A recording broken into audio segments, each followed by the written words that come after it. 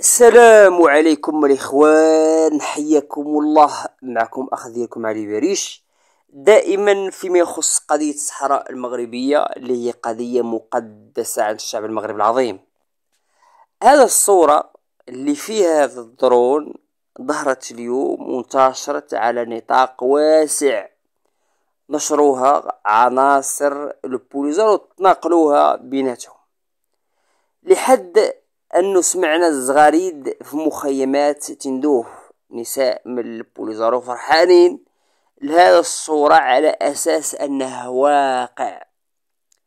كذلك كاين صوتيات وتسريبات صوتية غنسمعوهم في هذا الفيديو كيقولوا على انه البوليزاريو عادوا يمتلكوا الدرون وغيستعملوها ضد المغرب. المهم الأخبار أخوت مختصر على أنه البوليزاريو وعناصرهم اليوم كيتكلموا على أنه البوليزاريو قد تحصل على درون وغتواجه بها الجيش المغربي في الجدار الرملي وغتقصف بها المغرب. وهذا الخبر جاء مباشرة بعد فيديو نشرته أحد القنوات التلفزية العربية واللي استضفت فيه محمد سالم العبيد مدير تلفزة البوليزاريو. واللي قال فيه على أنه من حق البوليزاريو على انها تحصل وتوفر على أسلحة مثل الدرونات وأسلحة ثقيلة. وتكلم هذا التقرير التلفزي العربي على انه البوليزاريو اشترت صواريخ ودرونات وأسلحة من دولة إيران. فكتعرفوا كاملين عناصر البوليساريو دائما كيستغلوا مثل هذه الأحداث. الفيديو روجوه مرة أخرى على نطاق واسع مرفوق بهذا الصورة اللي كتظهر فيها هذا الدرون وتم الفبركة عليها وقالوا أنه البوليساريو تحصلت على درون غتواجه بها المغرب. في الحقيقة كل شيء ممكن. أنا أستبعد على أنه البوليزاريو عندهم درون ولكن هذا ليس بخبر مستحيل. إيران فعلا تقد تسلح البوليزاريو بأسلحة. صواريخ درونات انتحارية درونات كل شيء ممكن. مهما انه إيران عندها عداء المملكة المغربية وعندها علاقة مع الجزائر تقد تسلح بطبيعة الحال البوليزاريو. هذه وجهة نظري الخاصة.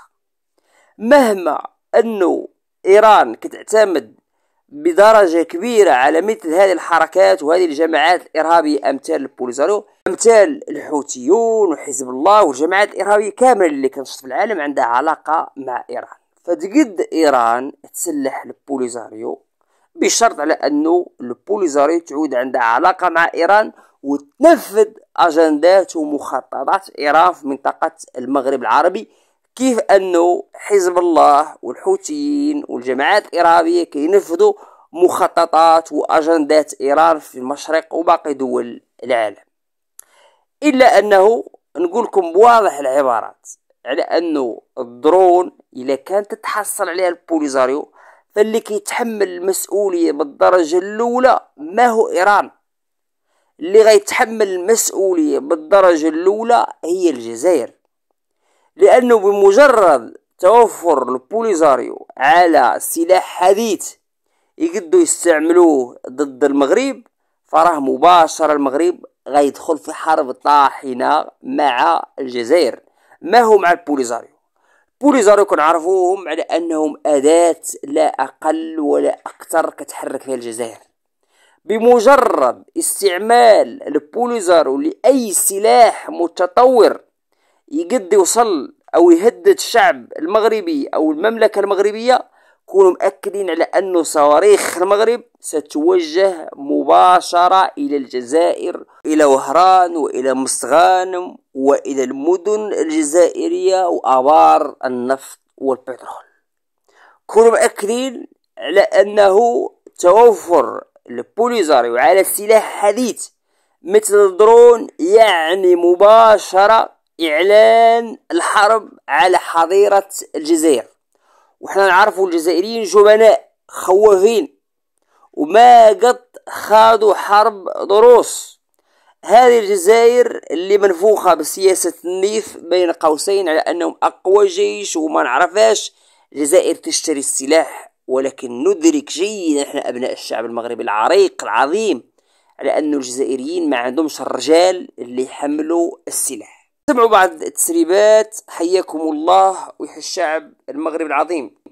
السلام عليكم. مرحبتي بك. سعداني شحالك ياك لاباس؟ ياك الخير. خليه من بعد قاعد ضرر يهدد به بالريش وتهدد به الدنيا وقاع الحقيقة مهدد براسه. ما كان له ياخذ حد ما جا راقبه ايوا قال لا باش قتلت أمريكا الموت تموت. راهي مولي ضرر ثاني وتوف اللي ظهر. تجي على راسه غير أختي قاع أحلى بزلة الرحمة بين موت محمد إن شاء الله. يرجع إن شاء الله المغرب شهر تراب وهك وتبقى الصحراء لها الهو يتمونكو فيها وكلها يتمونك ويتماد ليدين مع الأخر. يا غير الشيطان حاضر. معدل حتى وجبهات وكلها ناترو على زر.